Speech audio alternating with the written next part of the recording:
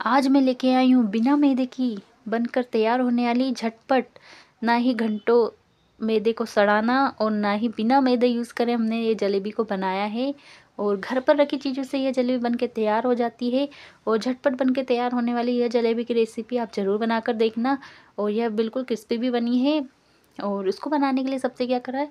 एक कप हमने गेहूँ का आटा ले लिया है, इसे हमने छान लिया पहले से। छानने के बाद इसमें क्या करा है, दो चुटकी इतना मीठा सोडा डाल देना है। मीठा सोडा डालने के बाद विनेगर का यूज़ करा है मैंने, इसमें एक चम्मच इतना विनेगर डाल दिया है।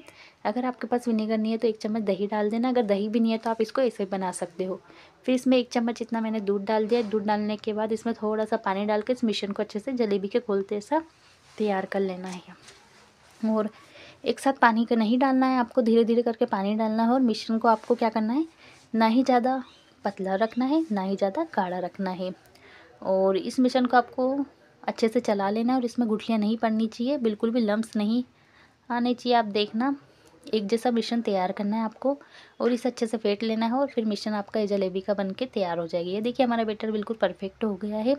इस तरह का बेटर आपको बनाना है और इसमें हल्का सा पानी और डाल दिया, थोड़ा सा गाढ़ा लग रहा था। अब हमारा मिश्रण बन के तैयार हो गया है, ये देखिए।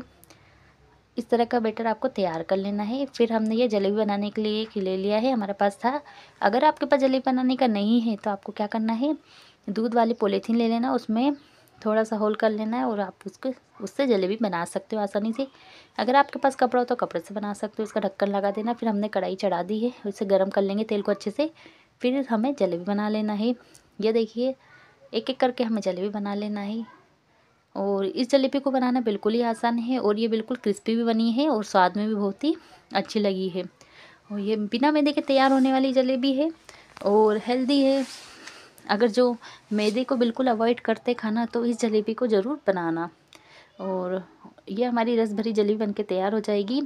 और कोई नहीं कह सकता ये हमने आटे से जलेबी बनाई है और इसे दोनों साइड से हमें अच्छे से फ्राई कर लेंगे। अगर आपको ज़्यादा ही कड़क खाना पसंद है तो आप इसको कलर को मतलब थोड़ा सा और ज़्यादा फ्राई कर सकते हो। अगर कम कड़क खाना पसंद करते हो, आप अपने अनुसार कम ज़्यादा कर सकते हो।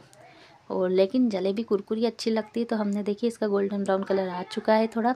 अब इसको हमने निकाल लिया, सुनहरा कलर हो चुका है।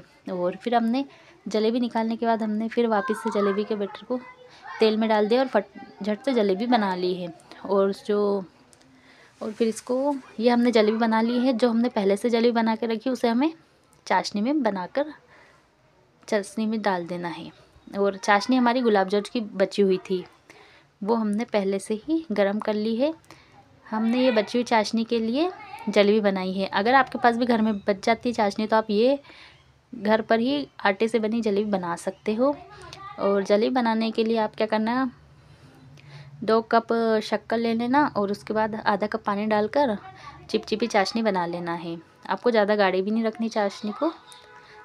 और इसे जलेबी को हमने ये देखिए, चाशनी में अच्छे से डुबकी लगवा दी है। मतलब चाशनी को मतलब चाशनी में जलेबी को हमने अच्छे से डाल दिया है और एक एक करके हमने इन सभी चाशनी को निकाल लेंगे। अगर आपको यह रेसिपी पसंद आती है तो मेरे को फॉलो करना तो बिल्कुल ना भूलें। एंड मेरे यूट्यूब चैनल को भी सब्सक्राइब कर ले जल्दी से, एंड मेरा पेज को भी अभी तक फॉलो नहीं करा तो जल्दी से कर ले। और इसको हमने उलट पुलट कर लिया, चाशनी में अच्छे से ये घुल जाएगी। मतलब ये जलेबी चाशनी पी लेगी, ऐसे इसको चेंज कर लिया है, और फिर इसको हमें अच्छे से निकाल लेना है। यह देखिए हमारी जलेबी बन तैयार हो गई है। तो एक बार इस जलेबी को आप अपने घर पर ज़रूर बनाना। हमें बताना ये जलेबी आपकी कैसी बनी है, और ये हमारी क्रिस्पी करारी जलेबी बन के तैयार हो गई है। शेप पर मत जाना इसके, पर ये खाने में यकीन मानिए बहुत ही अच्छी लगी। बेटर को आपको ज़्यादा पतला नहीं करना है, नहीं तो आपकी जलेबी अच्छी नहीं बनेगी। आपको थोड़ा सा गाढ़ा ही रखना है बेटर को। ज़्यादा पतला करने से आपकी जलेबी है ना, बिल्कुल ही पतली सी बनेगी। और ये हमारी करारी जलेबी बन के तैयार हो गई हैं। अगर पसंद आती वीडियो तो लाइक करें, कमेंट करें। Thank you.